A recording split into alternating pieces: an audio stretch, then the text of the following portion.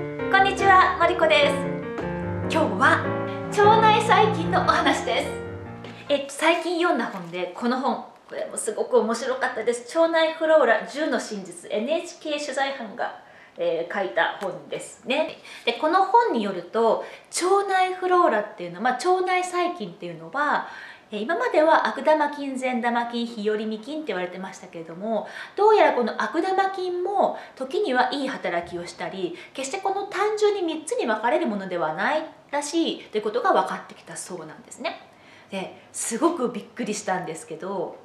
腸内細菌って、まあ、頭の働きに関係があるっていうのは前々から言われてましたよね。えそれからアレルギーにも関係があるそうですね。えそして私すごく面白いなと思ったのは性格も腸内細菌で変わるそうなんですよ。えそして、えー、太りやすい方も太りやすいような腸内細菌を持っているそうなんですね。皆さんも周りの人を見てみた時に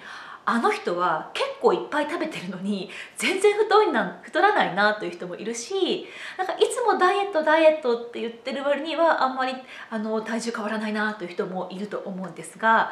もしかしたら腸内細菌が違うのかもしれません。ではどういう腸内細菌がいい腸内細菌かというと多様性だそうです。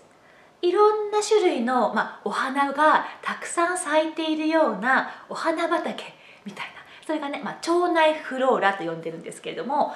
いろんな種類があるということが大事だそうですね。じゃあどうしたらそういういい腸内細菌にすることができるのかというと一つは食生活ですけれどももうありきたりなんですがやはり昔ながらの食生活が日本人には合っているそうです。そして食物繊維が豊富な食事というのが腸内フローラを多様に豊かにしてくれます。ありきたりですけれども和食がいいですよというオチですね。はい。で実は私はですね、まあ、ここでこんな皆さんの前で言うのもなんなんですけれども以前は1日に3回それももうワオっていうようなすごいいいのが出てたんですよ。ところが先、えーと、昨年末にちょっとあの怪我をしたと言いますかね細菌が傷口から入ってすごい可能しちゃってそれを止めるために抗生物質を飲んだんですね。でそっからもう多分私のお花畑枯れた。もうそっからですね便秘になってあもうあの過去の栄光はどこに行ったっていうから本当なんか便秘って気持ち悪いですね。でも最近はやっと盛り返してきて1日に1回はですねこんないい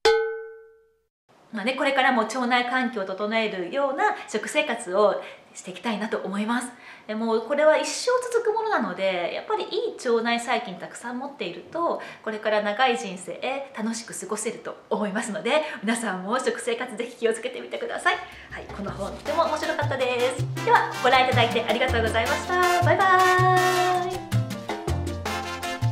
えー、ダイエットしたい人はこのコーヒーこの完全無欠コーヒーが朝ごはんで昼まで何も